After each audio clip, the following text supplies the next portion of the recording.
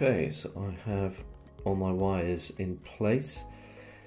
Running through from top to bottom, we've got the CLK and DT, blue and purple. They are going to be programmed to be the left and right inputs when we turn the encoder. SW is the switch, so this has a little push button. Uh, and then we've got the positive and the ground, orange and black.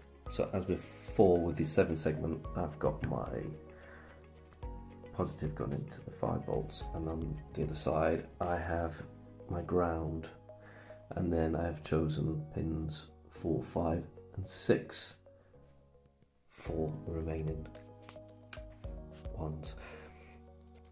Okay, so I've connected my Arduino board to the laptop. I've got power running through, you can see by the lights.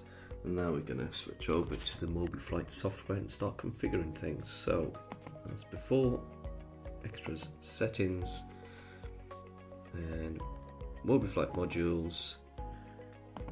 And we are going to add a new device. And this time it's an input device and it's an encoder. Okay, quite simple to configure this. It's asking for two pins, the left and right, and these correspond to the CLK and the DT pins. So in my case, that was six, and that right pin was four. Okay, upload config.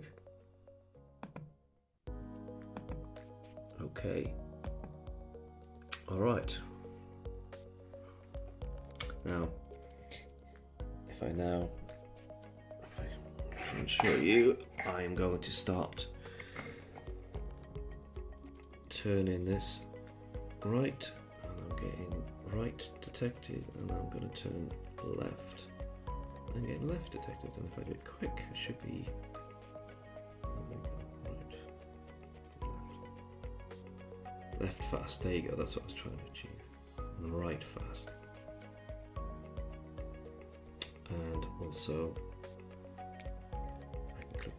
but we haven't configured the button yet. We've only done the two pins. So what about that third switch pin? Let's do that now. Okay, so let's go back into extras settings, modules, and we're gonna add another input, but this time it's gonna be a simple button. And it just wants the pin. Our SW switch pin was, was pin five. I'm gonna set that to pin 5. Okay, upload config. And now, hopefully, when I click this, we're now seeing a press and release event firing. And we've got our left and right. So now if we were to configure this for actually controlling a, a variable in the flight sim, such as the MCP altitude, let's say, we would choose input configs because it's an input device. Double click a row. Let's just call it MCP altitude.